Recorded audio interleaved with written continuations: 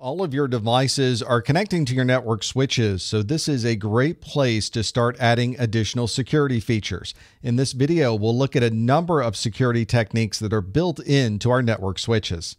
We spend a lot of time building a very secure perimeter between the outside and the inside of our network. We want to put everything we can between those so that somebody who's on the outside is not able to access any of the resources on the inside of our network. But if you're already on the inside of the network, it's pretty open. You can access nearly any device without passing through any type of security component in between.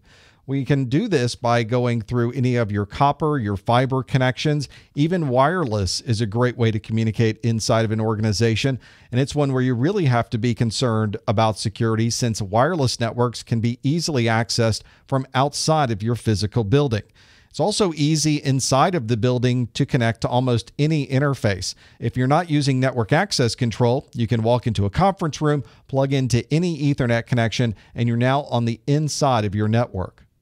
DHCP snooping is a way to prevent unauthorized DHCP servers or people trying to use static IP addressing to access devices on the inside of your network. This is usually a capability that is enabled on a layer 2 device. It's on your switch. The switch effectively acts as a DHCP firewall. It's listening for all of the DHCP communication that's taking place on your network.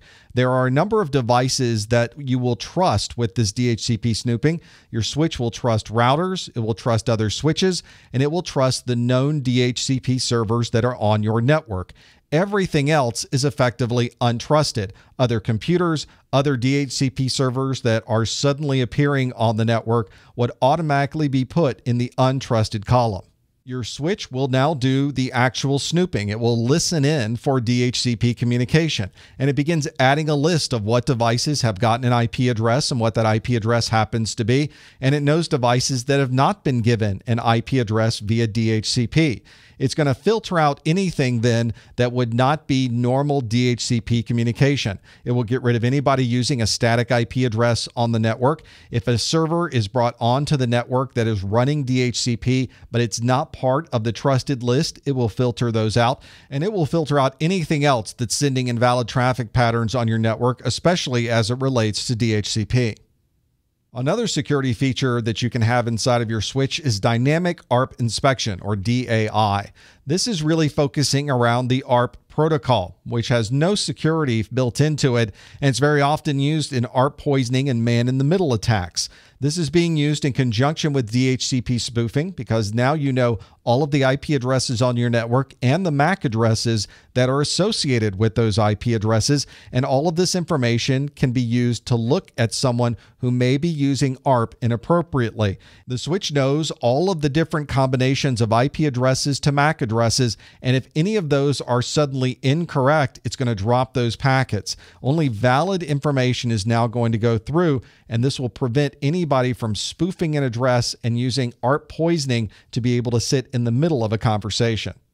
MAC stands for Media Access Control, and it is effectively the physical address that's inside of our network interface cards. Every card has a different MAC address inside of it, which means each one of these interfaces can be individually identified. What MAC limiting and MAC filtering does is keep a list of everybody on your network and what their MAC addresses are. And if another device happens to appear on your network or another device tries to spoof a MAC address on your network from a different interface, the MAC filtering will identify that and filter out all of that traffic from your network. In this way, you're able to limit the impact that somebody might have in trying to spoof or pretend to be somebody on the network who they're really not. Another security technique that's built into your switches is virtual LANs or VLAN assignments. You can segment your network into smaller pieces and keep the security segmented within all of those. So you might have a VLAN for the marketing department, the accounting team, and shipping and receiving, and you put all of their local resources on their individual VLAN. You would also then limit the communication from VLAN to VLAN, thereby creating a more secured network. How you decide to segment is going to depend a lot on your network configuration. You might have load balancers and web servers and database servers, and you may need to segment those in different ways. By segmenting through VLANs, you're doing the segmentation on the same physical device. In some environments, you may need even more separation, where you have what's effectively an air gap. You have a separation of devices themselves. But if you want to have everything consolidated into a single switch, you can easily use VLANs to provide the segmentation.